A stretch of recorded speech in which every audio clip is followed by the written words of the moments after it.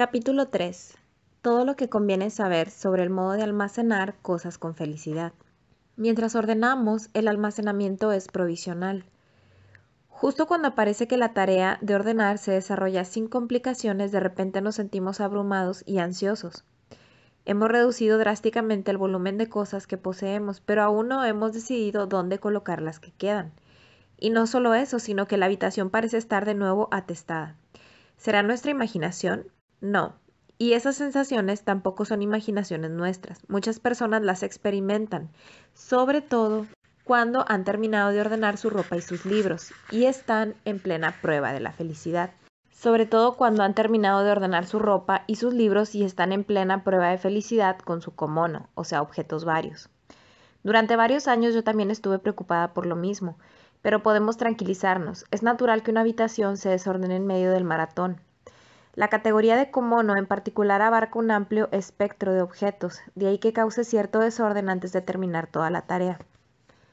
En el pasado insistí a mis clientes en que debían decidir dónde almacenar cosas tan pronto como concluyeran con cada categoría de comono.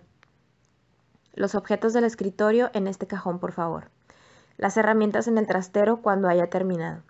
Y así sucesivamente. El almacenamiento de las cosas hacía que la habitación pareciese al punto ordenada. Y lo más importante, me hacía parecer una profesional, es decir, intentaba presumir. Pero es extremadamente difícil tener una idea clara de nuestro comono antes de que lo hayamos ordenado del todo. El número de categorías es muy grande, como grandes lo son también las diferencias entre los tipos de cosas que una y otra persona poseen. Para complicar el asunto, los clientes suelen clasificar las cosas de manera diferente. Para una persona, un cortaplumas pertenecerá a la categoría de objetos de escritorio mientras que para otras se quedará en la de objetos de artesanía. La gente también puede ampliar o revisar el contenido de una categoría a medida que avanza. Tal vez este calientamanos de bolsillo deba ir con los artículos sanitarios. Cuando tenía a mis clientes almacenando cosas al tiempo que ordenaban cajones perfectamente organizados, pronto empezaban a desbordarse, y el almacenamiento de objetos de la misma categoría se terminaba dispersando por toda la casa. Empezaba a entrarme pánico y mi mente se quedaba en blanco. Al final, no pocas veces tenía que decir, lo siento. ¿Le importa que saque el comono que acabamos de guardar para hacerlo de otra manera? Entonces tenía que empezar a reclasificar las categorías. En lugar de ahorrar tiempo, lo había desperdiciado. Tras repetir este error varias veces, acabé dándome cuenta de que el almacenamiento solo se aclara al final de todo. Solo cuando hemos terminado de clasificar podemos hacernos una idea de la cantidad de cosas que realmente tenemos y establecer las categorías apropiadas. Por lo tanto, debemos considerar todo el almacenamiento como algo provisional hasta el momento en que terminemos. Un punto importante en este proceso es introducir todo lo perteneciente a una categoría, sea la de objetos de escritorio o la de artículos sanitarios en un contenedor parecido a una caja en lugar de hacerlo en bolsas de papel o de plástico, donde no podremos ver lo que hemos decidido conservar. Esto nos permitirá hacernos una idea de lo que aún nos queda. Una vez hecha la prueba de felicidad para todo el comono, lo que nos falta por hacer es decidir el sitio donde almacenar cada categoría. Podemos tener tantas cosas que nos resulta imposible clasificarlas en un día. En este caso no hay ningún problema si guardamos temporalmente las cajas en el armario para tener espacio por donde movernos. Si terminamos con cajas de almacenamiento sobrantes mientras estamos ordenando, la regla de oro es hacerlas a un lado, no deshacernos de ellas ponerlas en un lado asignado a objetos aún por almacenar y utilizarlas al final para hacer balance de los objetos que hay que guardar. Por supuesto, si hemos desechado tanto que acabamos con muchas más cajas de las que necesitamos, podemos deshacernos inmediatamente de las que nos sobren.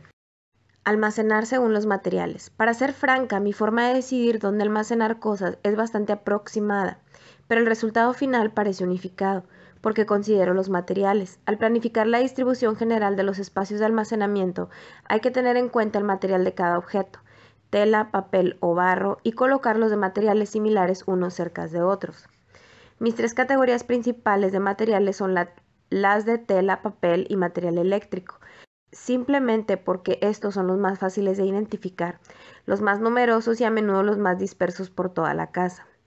Cosas de tela como delantales, bolsas de tela y sábanas los almaceno cerca de la ropa, que es representativa de esta categoría. Cosas como documentos, cuadernos, blocs de notas, tarjetas postales y sobres las almaceno cerca de la librería, porque el libro es el rey de la categoría papel. En la categoría de material eléctrico entran aparatos eléctricos, cables, tarjetas de memoria, etc. Cosas como cremas y lociones pueden clasificarse como líquidos, las cosas de comer como productos alimenticios y las piezas de vajilla se pueden subdividir en objetos de cerámica y objetos de cristal. Naturalmente no es posible almacenarlo todo a base de categorías de materiales. Por un lado, no todos los objetos pueden ser fácilmente clasificados por un solo material y cosas de una misma categoría pueden estar hechas de distintos materiales. Aquí simplemente conviene tener en cuenta los materiales en el momento de almacenar objetos. Esto hace que el resultado final sea un orden mucho más claro y el almacenamiento una tarea más sencilla. He desarrollado este sistema después de probar una gran diversidad de métodos y veo que establece un nivel completamente diferente de pulcritud una vez que todo se ha almacenado. Cada material tiene una aura propia y particular. La tela y el papel, por ejemplo, que están hechos de materiales vegetales, respiran y parecen irradiar calor. El plástico es mucho más denso, no respira en absoluto y hace que el pecho sienta como una opresión. Televisores, cables y otros objetos tienen un olor ligeramente acre o material eléctrico.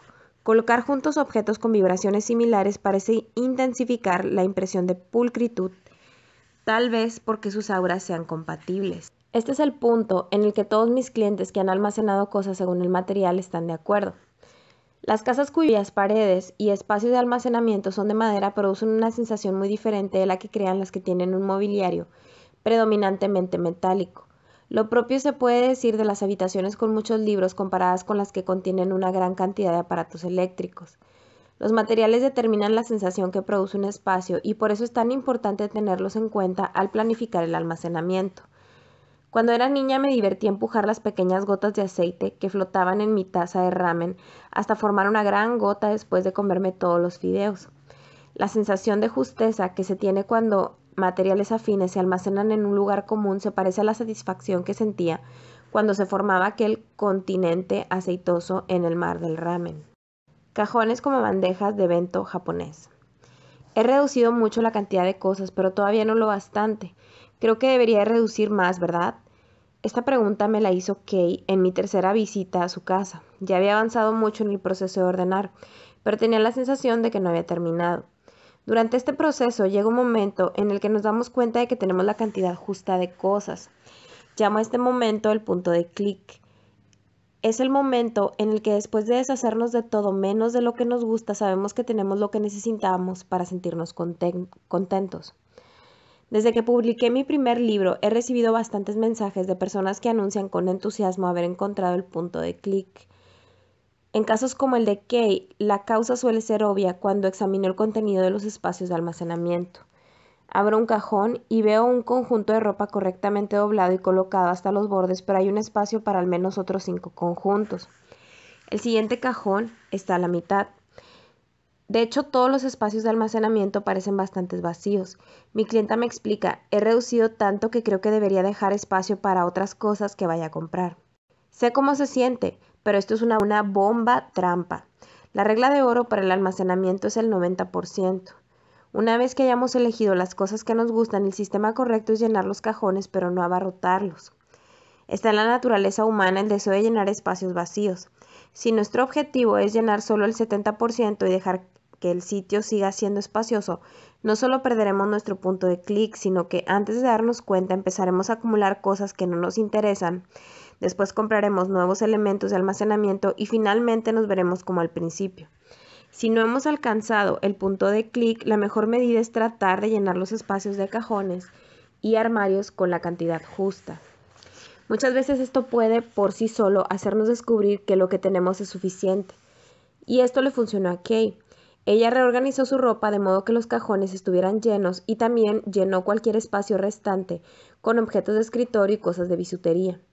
Antes de que se diera cuenta, las dos cajas de plástico que había dejado en el suelo de su habitación estaban vacías y todo cabía perfectamente en el armario principal. Al almacenar imaginemos una bandeja de bento japonés. Esta comida dispuesta en una bandeja es parte tradicional de la cocina japonesa y creo que ninguna otra cultura en el mundo se toma tan en serio como lo hace Japón. La presentación es muy importante y los alimentos aparecen exquisitamente dispuestos con sus distintos colores en pequeños compartimentos. Cada año se producen incontables recetas específicas para el bento Y también cada año se celebra un concurso nacional en el que se elige el mejor vento servido en trenes y estaciones. El vento compendía la estética japonesa del espacio de almacenamiento único. Sus conceptos clave son la separación de sabores, la belleza de la presentación y el ajuste perfecto. Si sustituimos la separación de sabores por separación de materiales, el almacenamiento de las cosas en un cajón opera exactamente con los mismos principios que la disposición de alimentos en una bandeja de vento. Otro error que la gente suele cometer al almacenar cosas en los cajones es utilizar demasiados divisores. Esto también, esto está bien para separar, por ejemplo, la ropa de algodón de la ropa de lana en un cajón, pero no hay necesidad de hacerlo mediante una inserción de una caja interior o un separador. La finalidad de separar prendas es lograr un ajuste firme y cómodo. Como las ropas están hechas de fibras vegetales, necesitan cierta cantidad de espacio para respirar, pero no tanto que pierda su calor.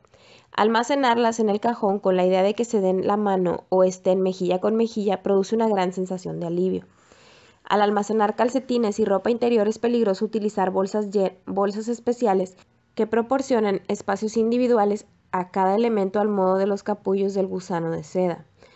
Cuando hay suficiente espacio de almacenamiento, esto puede no ser un problema, pero la compartimentación de cosas es ineficaz porque deja demasiados huecos. Peor aún, si hay demasiado espacio entre la ropa, ésta sentirá frío, además de hallarse incómoda pero también debe evitarse apretujar las prendas tan estrechamente que no puedan respirar. Los delgados y ligeros tejidos sintéticos como los de poliéster, que tienden a estirarse si se pliegan demasiado, son la excepción. Estos deben guardarse en una caja más pequeña para separarlos de otros materiales. En algunos casos, otros tipos de comono que no están hechos de tela, como los cinturones, pueden guardarse mejor con separadores. Si se puede ver de inmediato lo que hay en el cajón, el almacenamiento estará bien hecho. Poder sacar las cosas del cajón con facilidad es solo una ventaja añadida, no una necesidad. Los cuatro principios del almacenamiento. Juntar todo lo perteneciente a una categoría es la parte más festiva de la fiesta del orden. Se empieza por la ropa. Cuando mis clientes forman con toda su ropa un gran montículo en el suelo y van comprobando qué prendas le producen felicidad, su excitación crece notablemente. Esto es fabuloso, estoy descubriendo mi criterio sobre lo que me puede producir felicidad pero en el momento en el que estamos listos para empezar a almacenar, por lo general, por lo general nos hemos quedado sin tiempo. Vaya, ahora tengo que recoger a mis hijos. Me habría gustado seguirles la corriente cuando todavía están en medio de la fiesta, pero les pongo algunos deberes. Les digo que trabajen en el, en el almacenamiento hasta la próxima lección y recuerden siempre los cuatro principios. Doblar la ropa, hacerlo en posición vertical, almacenarla en un solo lugar y dividir el espacio de almacenamiento en compartimentos rectangulares. Estos principios son aplicables no solo a la ropa, sino también a todas las demás categorías. Cualquier cosa suave y flexible debe doblarse, y esto ha de hacerse no solo con la ropa, sino también con guantes, con mono de vestir, bolsas de plástico y ropa para lavar. Si algo es suave y flexible es que contiene aire, doblarlo permite sacar el aire, esto reduce su volumen y maximiza la cantidad almacenable. Todo lo que pueda colocarse de canto sin caerse ha de ser almacenado en posición vertical, en vez de horizontal dentro de un cajón, ropa doblada, objetos de escritorio, medicamentos y paquetes de pañuelos de papel. Esto no solo nos permite aprovechar al máximo la altura del espacio de almacenamiento, sino que también es la mejor manera de saber al, al primer golpe de vista lo que hay almacenado. Los objetos de la misma categoría han de estar en un único lugar, quien viva en familia ha de ordenar primero por persona, luego por categoría y finalmente por tipo de material. Si sigue este orden, el almacenamiento será mucho más efectivo. El último principio es dividir el espacio de almacenamiento en compartimentos rectangulares. Las casas son básicamente una combinación de espacios rectangulares y por lo tanto los espacios de almacenamiento rectangulares y los compartimentos rectangulares dentro de esos espacios son lo que mejor funciona. Si utilizamos cajas vacías para el almacenamiento es mejor elegir cajas rectangulares en vez de redondas. Si la tarea de seleccionar lo que vamos a conservar es demasiado abrumadora como para recordar los cuatro principios, es suficiente centrarse en los dos primeros. Si se dobla, quedará perfecto. Si se coloca en posición vertical, quedará perfecto. Si repetimos estas palabras como un mantra, podemos estar seguros de que necesitaremos mucho menos espacio y de que el interior del cajón estará siempre visible y ordenado. Doblar la ropa como un origami. E se encuentra ordenando su ropa. Acababa de hacer la prueba de la felicidad y después de una lección sobre lo más básico había empezado a doblarla.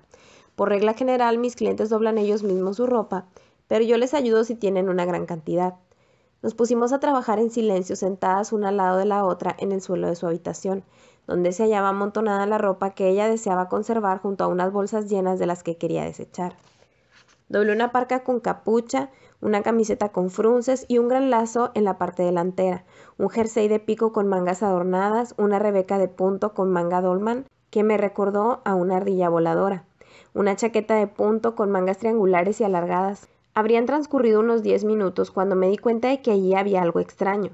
Mi clienta parecía tener demasiadas prendas de aspecto poco corriente. Continué doblando su ropa, pero fijándome en todo lo que ella hacía. Dobló una sencilla camiseta y un bustier elástico, pero cuando echó mano de la chaqueta bolero asimétrica, la puso en mi montón. Entonces caí en la cuenta. Todas las prendas de formas extrañas y difíciles de doblar acababan en mi montón. Un momento, eh, exclamé. Lo siento, no puedo evitarlo. Nunca sabré doblar algo así, me dijo ella. En los diseños modernos cada vez hay más dobladillos y mangas de formas irregulares. A la vista de las chaquetas de punto de cuello ancho y forma irregular, hoy de moda, casi es inevitable preguntarse cómo empezar siquiera a doblarlas, y ante unas mangas tan lacias como algas, habrá quien tire la toalla. Pero el secreto para conseguir doblar prendas de forma tan caprichosa es muy simple, nunca darse por vencido. Las prendas de vestir son simplemente piezas rectangulares de tela cosidas unas con otras. Independientemente del aspecto que tenga, cualquier prenda siempre se podrá doblar en forma de rectángulo. Ante una forma irregular, respiremos profundamente y mantengamos la calma. Extendámosla sobre el suelo u otra superficie grande y llana de manera que podamos ver su forma. Así distinguiremos dónde se ha cosido tela adicional para darle volumen y de qué manera se confeccionó. Desde esta perspectiva, la forma adquiere mucho más sentido y la tarea de doblarla deja de ser desalentadora. Una vez que hayamos distinguido la forma, sigamos las, reglas básicas doblando ambas mangas hacia el centro de la prenda para obtener un rectángulo. Si las mangas son particularmente anchas, podemos doblarlas varias veces para evitar que sobresalgan del borde del rectángulo.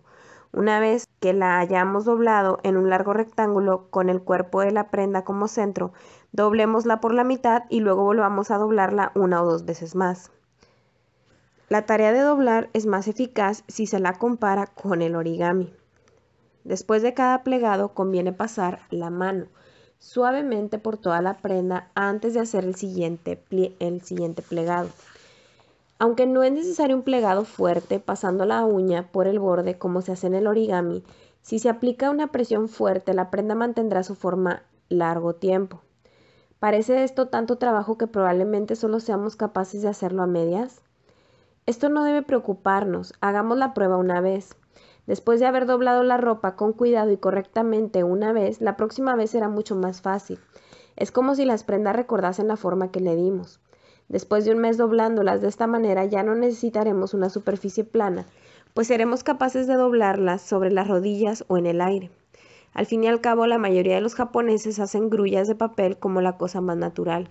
La clave es usar la palma de la mano. Quien haya estado doblando solo con dos dedos que trate de utilizar la palma de la mano, de la cual emana una especie de cálida energía manual. Ese calor hace que las fibras de la prenda se levanten y tiren del tejido como el papel, haciendo más fácil doblar la ropa como el origami. Si se alisa y se dobla la prenda como en el origami hasta hacerla más pequeña de lo que cabría esperar, la ropa doblada se mantendrá así y se podrá guardar en posición vertical. Las prendas de los niños, por cierto, no deben doblarse como las de los adultos porque acabarían convertidas en unos pequeños y gruesos bultos que no permanecerán plegados. Conviene reducir el número de plegados hasta conseguir la forma correcta que mejor se mantenga. Todo lo que se necesita saber sobre el método de plegado con Mari. Quien haya aprendido a hacer un rectángulo doblando los bordes hacia el centro de la prenda dominará el 90% del método de plegado con Mari y sabrá hacerlo con cualquier prenda, tal es su objetivo. El plegado de una prenda de vestir a menudo me recuerda a los sacerdotes que tallan estatuas budistas. Ellos miran fijamente un trozo de madera hasta ver dentro de él la forma de la figura y luego tallan la madera hasta que la figura emerge. Aunque sé que esta es una dimensión completamente diferente, la idea es similar. Extiéndase y mírese fijamente la prenda y una vez que se vea en ella la forma rectangular, tómese las partes que estén afuera de ese rectángulo y doblense hacia adentro. Método básico de plegado. Paso 1. Doblar los dos extremos de la prenda hacia el centro para formar un rectángulo. Paso 2. Doblar el rectángulo longitudinalmente por la mitad. Paso 3. Doblar luego por la mitad o en tercios. El primer rectángulo es bastante largo, Doblarlo por la mitad ayuda a reforzar la forma de la prenda. Al doblarlo es necesario sujetar la parte más delgada o más débil que es el cuello en las prendas superiores y las piernas en los pantalones. En vez de doblar hasta el borde de la parte inferior, conviene dejar un pequeño espacio. El objetivo de estos dos pasos es crear una forma más firme y clara, por lo que conviene ajustar la parte sujetada y la anchura de ese pequeño espacio de la forma que más convenga la prenda. Después de esto lo único que se necesita hacer es ajustar la altura volviendo a doblar por la mitad y en tercios la forma de las prendas. Para la ropa extra larga es posible que haya que doblar 4 o 5 veces. Hay muchos pequeños trucos para hacerlo, pero básicamente estará bien hecho y el resultado final es un rectángulo liso. Estos rectángulos se guardan en posición vertical dentro de los cajones, pero antes es preciso comprobar si se mantienen en la posición colocando cada uno verticalmente sobre una superficie. Si no se caen cuando retiremos las manos, habrán pasado la prueba y no se desharán cuando se los coloque en el cajón, ni aun sacando algunos o introduciendo otros. Si se deshacen, aunque sea débilmente, es necesario rehacer el plegado. Puede que el rectángulo sea demasiado ancho o la altura de los plegados en el paso 2 o 3 excesiva o escasa, por lo que el rectángulo será demasiado grueso. En algunas prendas puede ser mejor saltarse el paso 2 y doblar directamente en tres partes. Experimentando se encontrará la manera de doblar perfectamente bien una prenda, lo que llamo el punto de oro del plegado. Por supuesto, siempre habrá excepciones. Por ejemplo, el primer paso para algunos tipos de prendas puede consistir en doblar la prenda por la mitad en sentido longitudinal. La razón de que mi método básico exija doblar primero los dos lados hacia el centro para formar un rectángulo es evitar que el centro de la prenda se arrugue. Doblar en el centro hace que la ropa acabe arrugada pero las prendas que quedan muy bien con un pliegue en el centro se pueden doblar por la mitad en sentido longitudinal. Estas son las de tela acanalada o antiarrugas, que de todos modos no mostrará arrugas, las chaquetas de punto y otras prendas ya diseñadas con una línea en medio. Las arrugas generalmente no son importantes en la tela deportiva. Hay algunas prendas que aún dobladas correctamente no se sostendrán en posición vertical. Los tejidos delgados y finos, como los de poliéster, o suaves y gruesos, como los de lana, y los de punto holgados, no mantienen la forma cuando se dobla. En vez de intentar forzarlos a mantenerse tiesos, es mejor dejarlos tumbados después de doblarlos. Para las instrucciones de plegado de prendas especiales, ver el capítulo 4. Planear el almacenamiento con la idea de deshacerse de muebles usados para almacenar. Aunque los detalles más singulares dependerán del diseño de la casa, hay dos reglas férreas para decidir dónde almacenar cosas. Utilizar primero sitios de almacenamiento incorporados a la casa y almacenar en ellos objetos grandes. Empezaremos por encontrar la manera de utilizar los sitios de almacenamiento incorporados, pero antes recordemos el estilo de vida que habíamos imaginado al comenzar el maratón del orden. Si tenemos fotos o recortes, echémosles un vistazo. Estoy segura de que muchas personas se darán cuenta de que su ideal era el de una casa más espaciosa y arreglada de lo que les parece en ese momento. Entonces, ¿cómo hacer que un hogar sea más espacioso? La respuesta es simple, deshacerse de muebles. Y no me refiero a la cama o al sofá, me refiero a los muebles utilizados para almacenar cosas. Entonces la gente me dice, imposible, pero puedo asegurar que es perfectamente posible. En mis lecciones no tengo ninguna intención de utilizar otros sitios de almacenamiento que los que ya hay en la casa. No importa cuál sea el estado actual de la casa, cuando imagino el aspecto que tendrá después de poner orden en ella, visualizo cada habitación exactamente tal como era cuando se construyó. Imagino qué aspecto tendrá después de que todas las cajas de plástico transparentes colocadas sobre el suelo hayan sido guardadas, en armarios y cómodas y toda ella parezca nueva. A mis clientes les cuesta creer cuando les aseguro que así es como verán su casa, pero en casi todos los casos les demuestro que tengo razón. Hay veces que al final un cliente tiene más cosas que le causan felicidad, haciendo que el resultado sea ligeramente diferente de lo que había imaginado. Pero siempre que parto de la imagen de la casa tal como era cuando se construyó, el nivel que alcanza el resultado final es mucho más alto. La clave del éxito en el almacenamiento es empezar por llenar los espacios de almacenamiento incorporados a la casa, en el supuesto de que puedan dar cabida a todas las pertenencias. Además de armarios y alacenas, también considero algunas unidades adscritas a muebles, cajones debajo de la cama o estantes en el mueble del televisor, como lugares de almacenamiento integrados. También considero algunas piezas del mobiliario de las que nadie quiere deshacerse, como tocadores o armarios roperos, herencia de la familia. Si la casa no tiene espacios de almacenamiento incorporados, está bien usar cualquier mueble de los que producen a su propietario la mayor felicidad. Respecto a la segunda regla, la de almacenar primero los objetos grandes, entiendo por grandes simplemente los de gran volumen, como cajones de plástico transparentes para guardar ropa doblada, aparatos de uso temporal, como estufas y ventiladores y percheros. Coloquemos primero estos objetos en los espacios de almacenamiento incorporados. Si más adelante decidimos que alguno de ellos esté en una habitación en vez de un armario, lo sacamos de ahí.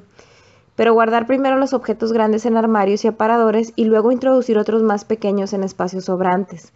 Estimula poderosamente el cerebro, con el resultado de un almacenamiento en el que todo encaja a la perfección. La gente a menudo se sorprende cuando se le dice que es más fácil almacenar cosas cuando el espacio es limitado, pero creo que las restricciones obligan a nuestro cerebro a pensar en toda su capacidad lo cual nos ayuda a llevar a cabo un mejor almacenamiento. El almacenamiento ideal pone un arco iris en la casa. En este libro nos centramos en la forma de almacenar objetos comunes a la mayoría de los hogares, pero que pueden ofrecer dificultades a la hora de decidir dónde almacenarlos. Para los de la categoría con mono no mencionados, mientras sigamos la primera y más importante regla, que es la de almacenar por categorías, haremos bien el trabajo. No dudemos en establecer nuestras propias categorías para cosas que no encajan en las normales de objetos de escritorio, cables eléctricos, medicinas o herramientas. Por ejemplo, las personas que se dedican al arte puede que necesiten la categoría de materiales de arte. Y si alguien es como una clienta mía a la que le gustaba coleccionar etiquetas hasta el punto de tener dos cajones llenos de ellas, puede establecerse la categoría de etiquetas alguien con muchos intereses y todos los artículos a ellos asociados desde la caligrafía a la costura, puede convenirle establecer la categoría general de hobbies, una solución adecuada para un exceso de detergentes y de esponjas que no caben en un único sitio es asignarles una categoría aparte de objetos de consumo y reservarles un cajón entero de un armario o del trastero. No olvidemos almacenar cosas de naturaleza similar cerca una de otras.